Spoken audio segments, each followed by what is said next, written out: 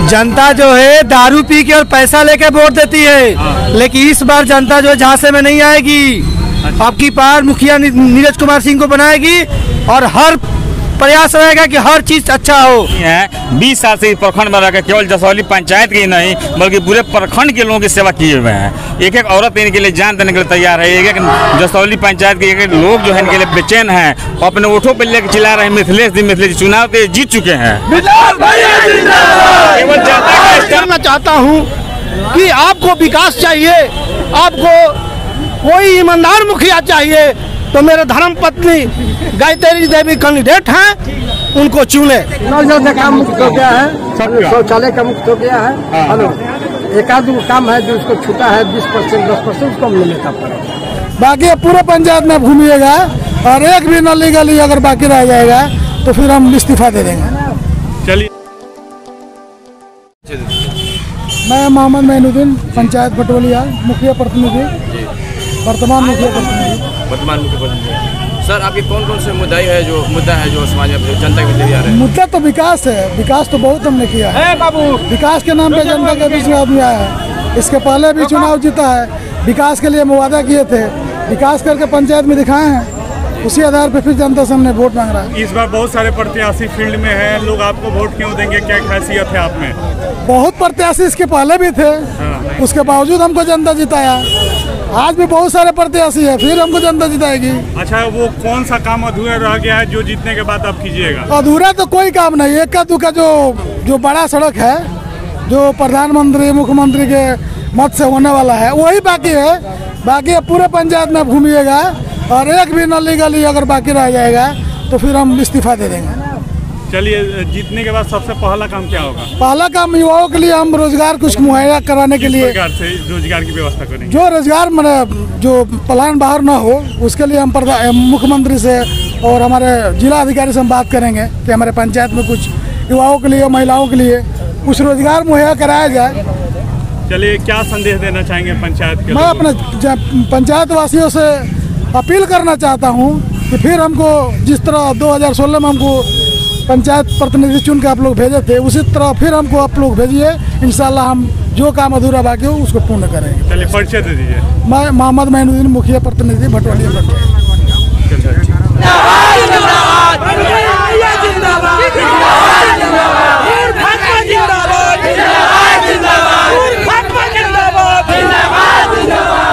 हम लोग विकास किए हैं विकास पर फिर हम लोग को तीसरा बार बुलाना है। विकास के लिए? जी। चलिए इस बार बहुत सारे प्रत्याशी हैं क्या उम्मीद है आपको? तो हमारे जनता का हाथ में हमने जो मेहनत किया उसके लिए मेहनत को सफल मिलेगा हमको। बहुत सारे वादे के साथ इस बार प्रत्याशी उतर रहे हैं। लोग आपको वोट किए सारे वार्ड हमारे साथ है। हम सबकी लेकर के चले हैं सबको लेकर के विकास किए इसलिए हमको पूरा भर- भरोसा है कि हम फिर आएँगे। हमारा मुखिया कहता है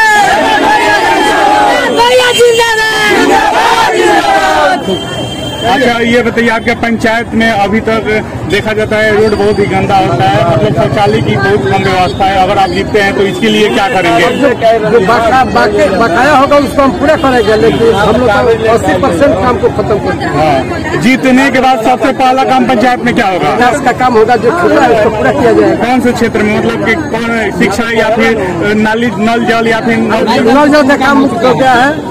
शौचालय का मुक्त हो गया है हाँ। हेलो एक आध गो काम है जो उसको छूटा है बीस परसेंट दस परसेंट उसको हम लेने का पड़ेगा चलिए परिचय दे दीजिए। मखलू पंचायत का देवनाथ शाह।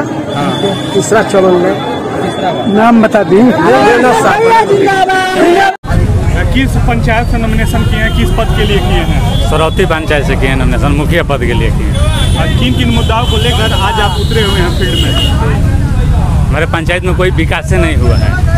बीस साल में कोई विकास नहीं हुआ। न, जल नल न नाला न इटकर सारा अधूरा है अभी मेरे पंचायत अच्छा अगर जीतते हैं तो मुख्य रूप से किस क्षेत्र में काम करेंगे? हम हमको वहाँ जनता लोग अथी करे विकास करेंगे सरौती पंचायत में जो 20 साल से नहीं हुआ है वो पाँच साल में हम करके दिखाएँगे। बीस साल से नहीं हुआ है तो दूसरे लोग जीत कैसे जाते हैं? हाँ? कैसे जनता जीता देती है? अरे जनता जीता देती है होता है। जनता जो है दारू पी के और पैसा लेके वोट देती है। लेकिन इस बार जनता जो है झांसे में नहीं आएगी आपकी पार मुखिया नीरज कुमार सिंह को बनाएगी और हर प्रयास रहेगा कि हर चीज़ अच्छा हो। सड़क नहीं है वो भी अच्छा हो आंगनबाड़ी नहीं है वो भी अच्छा होगा। अभी आप कह रहे थे दारू देकर जी। जीत जाते हैं लोग। जी। अगर इस बार भी ये सिचुएशन आ गए कि लोगों को दारू बढ़ जाए तो आप क्या करेंगे? ऐसा सर ऐसा नहीं है। अब जनता जागरूक हो चुकी है। अब जनता वैसा नेता चुनना चाह रही है जो विकास करे। इस बार तो बहुत सारे प्रत्याशी हैं। लोग आपको वोट क्यों दे? क्या हैसियत है आपने? हम जनता की सेवा करते हैं। जनता के समाज में साथ में रहते हैं। चलिए क्या अपील करना चाहेंगे अपने पंचायत की जनता से? सरौती पंचायत की जनता सारे लोग नमन करता हूँ। आ, हमको वो अथी पर लाए हैं जो हम उन लोग का सेवा कर सकें। चलिए अपना परिचय दे दीजिए। मेरा नाम नीरज सिंह। चलिए। मुखिया प्रत्याशी बता दीजिए क्या माहौल है आपके क्षेत्र में? हमारे यहाँ सर माहौल साफ़ है बिल्कुल कि नीरज सिंह जीत रहे हैं चुनाव भारी मतों से। हाँ। और जो जिन जिन कारणों का हमारे पंचायत में बचा हुआ है प्रॉब्लम हो जैसे नाले का है नल जल का है आंगनबाड़ी का है बहुत सारा इश्यूज़ है। वो सारा क्लियर हो जाएगा। उम्मीद है इस बार की जीत हंड्रेड परसेंट उम्मीद है कि अगर नीरज सिंह चुनाव जीतते हैं तो हर काम संभव है।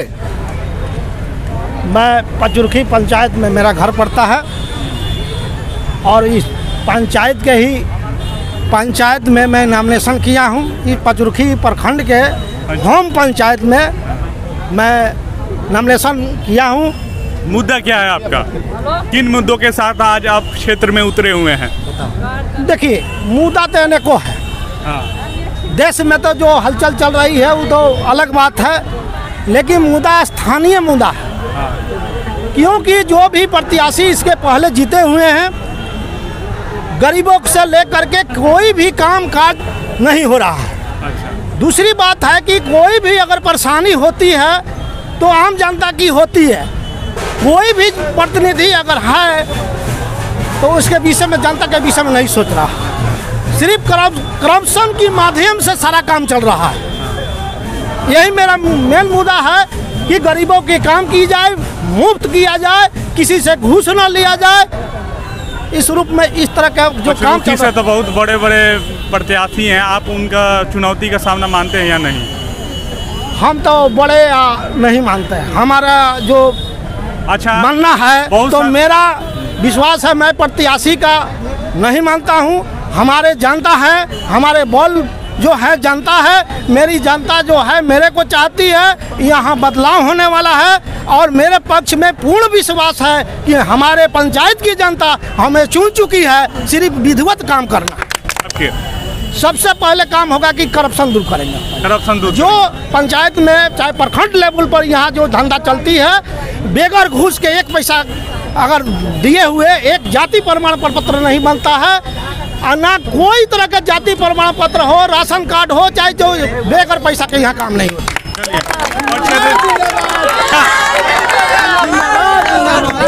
क्या संदेश देना चाहेंगे पंचायत के लोगों को? मैं संदेश यही जानना चाहता हूँ मेरे पंचायत के सभी जनताओं को मैं सबसे पहले प्रणाम करना चाहता हूँ और मैं विनती करना चाहता हूँ कि आपको विकास चाहिए आपको कोई ईमानदार मुखिया चाहिए तो मेरे धर्म पत्नी गायत्री देवी कैंडिडेट हैं उनको चुने।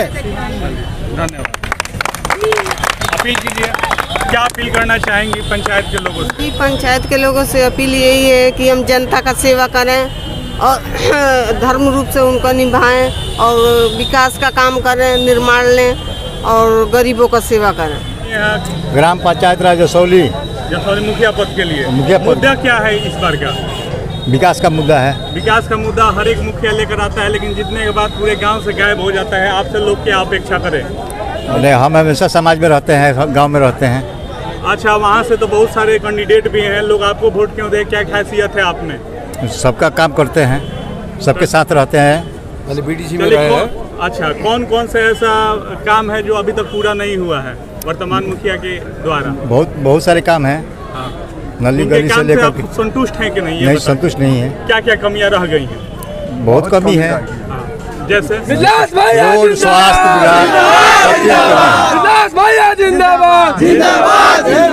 अच्छा जीतेंगे आप तो सबसे पहला काम पंचायत में क्या होगा? विकास। का काम करेंगे? सबसे पहला काम क्या होगा? विकास तो पानों साल करना है। सबसे पहला काम क्या होगा? आम जनता का सम्मान करना। हाँ। अच्छा। किसी का अपमान नहीं करना। हाँ। यही इनका पहला काम रहेगा। चलिए। और ये बीस साल ये जांचे परखे नेता है। अभी ने- हम लोग के नेता है हम लोग प्रतिनिधि हैं। बीस साल से इस प्रखंड में रह के केवल जसौली पंचायत की नहीं बल्कि पूरे प्रखंड के लोगों की सेवा किए हुए हैं। एक एक औरत इनके लिए जान देने के लिए तैयार है। एक एक जसौली पंचायत के एक एक लोग जो है इनके लिए बेचैन हैं। और अपने वोटों पर लेकर चिल्ला रहे हैं मिथिलेश जी मिथिलेश चुनाव तो जीत चुके हैं। केवल जनता का स्टैम्प लगने का बाकी है। चुनाव में जीत चुके हैं मिथिलेश स्टैम्प लगना बाकी है।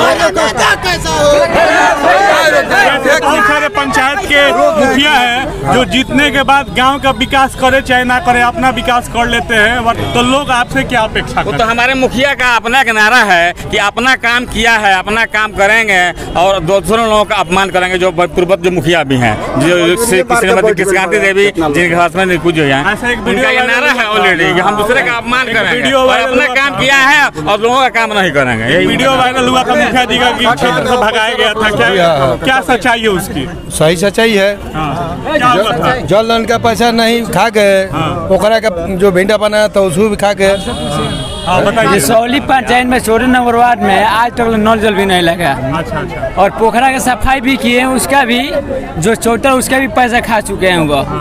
जो एक वार्ड में आया था छियालीस को पेपर वो चौदह नंबर वार्ड में खुद दस को लगा हुआ है। हमारे गाँव में मुरघटिया के भी भरने के लिए पैसा था वो अभी खा चुके हैं वो। हमारे गाँव में एक पैसा का भी विकास नहीं हैं। पैसा भी खा गया खाने का काम है कि जो पैसा देगा उसी काम होगा। क्या अपील करना चाहेंगे? के भी खा लोगों से गए। क्या अपील करना चाहेंगे? जनता का सेवा करेंगे। चलिए परिचय दे दीजिए अपना। मिथिलेश राम मुखिया प्रत्याशी जसौली।